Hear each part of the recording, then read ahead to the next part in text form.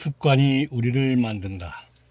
조선 중기 존경받는 학자이자 정치가인 율곡이 선생은 평소 나쁜 습관에 대해서 경고하였습니다. 학문을 시작하는 이들을 가르치기 위해 1577년 율곡 선생께서 쓴 경목 용어결에는 인생을 망치는 8가지 나쁜 습관이 무엇인지 가르치고 있습니다. 책 제목에는 어두울 몽자가 들어가는데 어둡다 어리석다는 의미를 가지고 있습니다. 첫째, 일하지 않고 놀 생각만 하는 것. 둘째, 할 일 없이 하루를 허비하는 것. 셋째, 자기와 같은 생각을 하는 사람만 좋아하는 것. 넷째, 사람들의 칭찬을 받으려고 헛된 말과 헛된 글을 쓰는 것. 다섯째, 풍류를 핑계로 인생을 허비하는 것. 여섯째, 돈만 목표로 삼아 살아가는 것. 일곱째, 남의 성공을 부러워하고 열등감을 느끼는 것.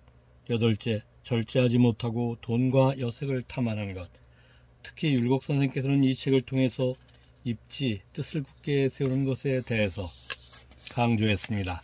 칼로 잘라내듯 나쁜 습관을 뿌리 뽑는 것은 말은 쉽지만 어렵고 힘든 일입니다. 하지만 나쁜 습관 때문에 망가진 인생을 살아가기보다 어렵고 힘든 일은 없을 것입니다.